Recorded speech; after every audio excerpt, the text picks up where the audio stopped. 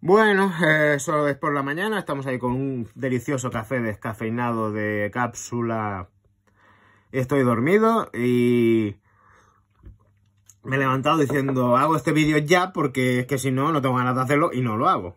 Porque eh, yo soy una persona muy rica, muy rica, soy multimillonario. ¿En qué? En tiempo. Lo que pasa es que ese tiempo veo que se va cortando y que los marrones se van, pipi, pipi, tipo juego de scaling, se van acercando. Entonces ese tiempo se tiene que aprovechar porque cuando lleguen esos marrones se va a acabar el rollo de raíz. Entonces ya tendremos que estar por otras cosas y otras peleas y otra manera de tal. Y posiblemente se acaben los vídeos también porque no los podré hacer como los hago en plan normal. Decir que vamos a estar en Retro Barcelona 2025 como en las últimas ediciones, tal vez sea la última edición en la que yo vaya, puede ser, puede no serlo, ya veremos el año que viene, ya veremos cómo se presenten las cosas, pero realmente eh, la destrucción de tenerlo todo ordenadito en casa, tenerlo todo bien puesto, el trabajo, el estrés eh, que suponen esos tres días, eh, es chungo, es chungo porque aquí hay dos personas haciendo todo y básicamente hay una y hay otra que ayuda. Una que lo hago yo y otra que básicamente ayuda. Eh, pero que es una puta pesadilla. Entonces, ¿me merece la pena? Mm, al final, ¿para qué? Si es que eh, la gente de allí no, no, aprecia lo que ve porque no sabe lo que es. Entonces es imposible. Eh, aparte, básicamente todo el panorama de, de, de videojuegos clásicos de este país, las mini, mini Arcade André, Retropala, todo esto son siempre lo mismo, de la misma manera, eh, mismos microespacios, eh, donde se ve exactamente lo mismo, con el mismo tipo de tiendas que van a todas, es lo mismo. Hay gente que le encanta porque se piensa que esto tiene que ser así, o sea, no vamos a añadir a la ecuación nada, porque si añadimos a la ecuación algo, vemos fechas, vemos capacidades técnicas, pues antes de Spectrum como de 64 y todo eso dejaría de ser lo que son en la cabeza de la gente. Aquí ya no hablemos de Ataris y de cosas así, porque ya te tienes que descojonar. Em, pero bueno, en todo caso, decir eso. En esta edición se va a ir, en la siguiente me lo voy a pensar bastante. Mm, y te lo digo así de claro, porque al final eh, enseñar todas estas cosas de cada público a mí me supone un esfuerzo, un trabajo y tal. Y al final, ¿para qué? Si es que la inmensa cantidad de gente no sabe ni qué coño está viendo. y, te pasan por delante y te sueltan la típica tontería de cuñado de aquí y no saben qué están diciendo. Pero tienen que decir algo como a decir, ah, yo sé algo de esto. Yo tengo un X68000. Y tú dices, sí, chato. Y yo tengo abajo un, yo qué sé, una escoba de barrer. ¿Y? ¿Soy experto en escobas de barrer? No. Pues lo, pues lo mismo. así, así, eso mismo, exactamente eso. Después, eh, Retro Barcelona, eso, vamos a estar allí. Eh, con el nombre Japan Computers, por decirlo así. Todavía no tengo bien claro qué me voy a llevar y qué no me voy a llevar, no lo tengo nada claro. en todo caso agradezco la ayuda de un amigo que me dejará algunas cosas que yo, que yo le he conseguido a él para no tener que destrozar tanto mi habitación. Em, después, eh, confirmado viaje de Japón 2025 y con el viaje de Japón 2025, tal como vinieron los juegos de Mega Drive, se van a ir todo lo que sea más juego. Y te lo digo así claro, todo lo que sea más juego se va. No, porque una cosa muy sencilla. Eh, me, hacen gracia las cajas, pero ya lo dije. Eh, a la primera que vea que necesito dinero, eh, voy a recuperar lo que me gasté en ellos o perder algo por el camino, pero voy a eh, perder seguro. Eso seguro. Porque cuando vas a Japón, el tiempo que inviertes en buscar, en irte a tiendas, en buscar juegos, eso es dinero también. A mí me hace mucha gracia la gente que antiguamente iba a Japón y te decía, no, es que encuentras todo a peso. Ya, ya, encuentras todo a peso, pero en el viaje, en la, en la estancia, te, gastas 3.000 o 4.000 euros. Por persona. Y empieza a, dividir por juego, a ver cuánto te sale por juego. Si es una persona normal que va a coger cuatro cosas y tal, eh, no te salen precisamente baratos. Que hay parte de turismo muy, importante, parte de estar allí, parte... Vale, de acuerdo. Pero yo voy aquí, bajo a mi casa, en una tienda que tengo en Barcelona, me voy a comprar un juego y me cuesta el billete, el tiempo, ir allí. Y eso es así, pues en Japón exactamente igual. O sea, si yo voy a Japón a buscar un juego, empiezo a dividir y empiezo a ver cuánto ha costado. Entonces, básicamente, eh, el tema es que no puede ser que pongas un Grey Lancer, lo pongas una vez y digas, no voy a jugar más en mi puta vida porque este juego no vale un pito. Y te lo digo así de claro. Igual que el File lo puse y os enseñé perfectamente qué es y no es discutible, es lo que es. Una mierda. pues obviamente el Slap File se va.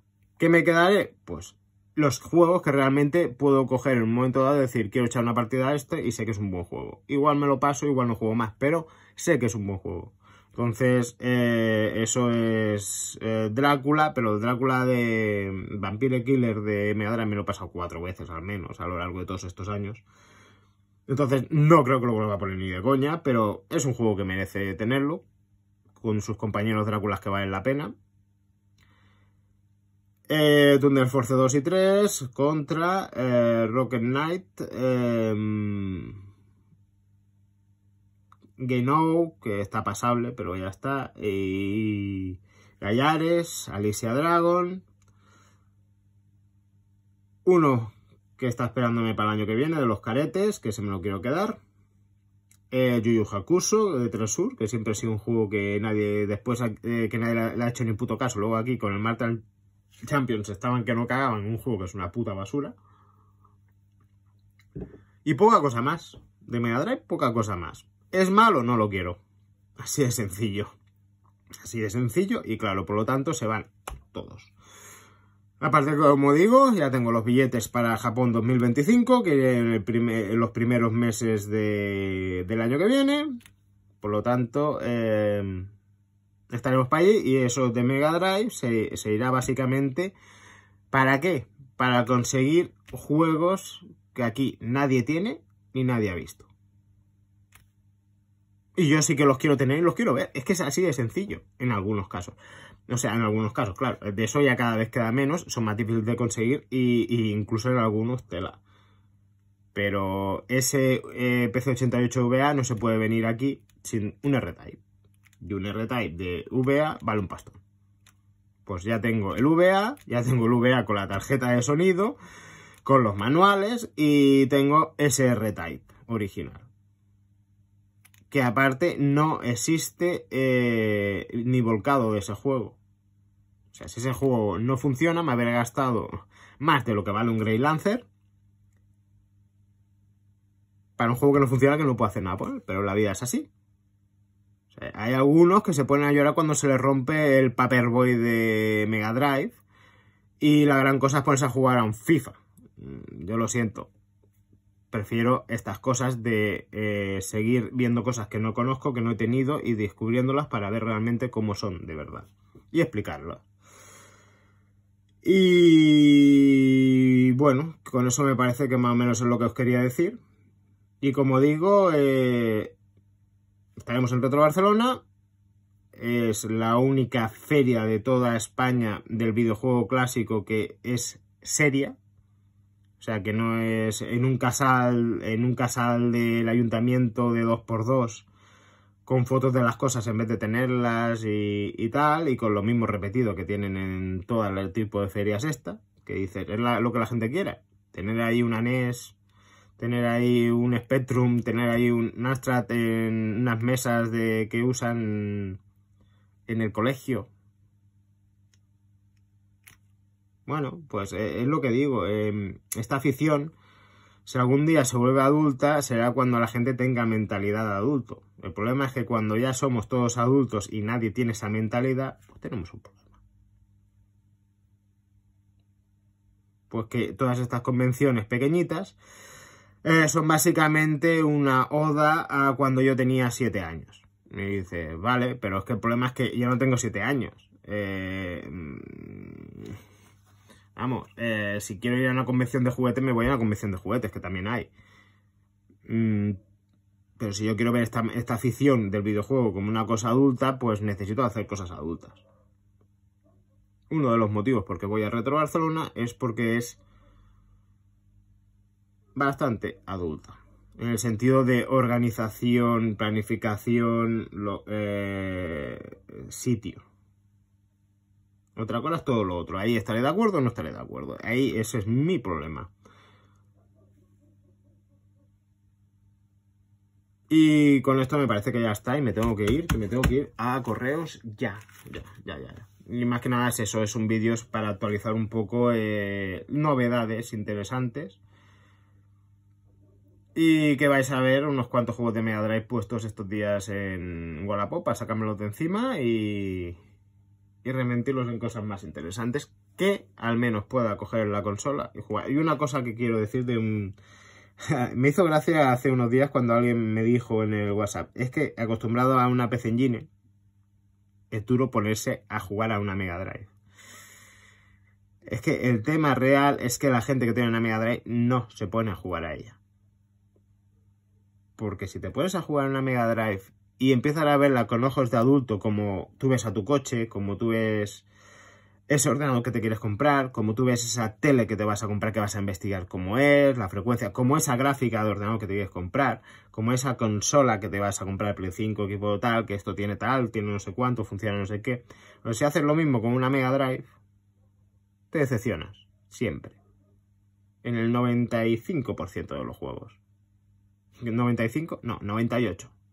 98 juegos. Son 500 juegos. Vamos a darle 15... Vamos a darle 20 juegos. Que valen algo. Que son muy buenos. Vamos a decirlo así. Y es lo que hay.